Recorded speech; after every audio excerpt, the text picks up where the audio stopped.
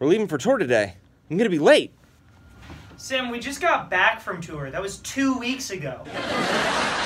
But we are playing a show this Friday at Bizarre Bushwick. We're on at 9. All right. Set an alarm for Friday at 9. no, no.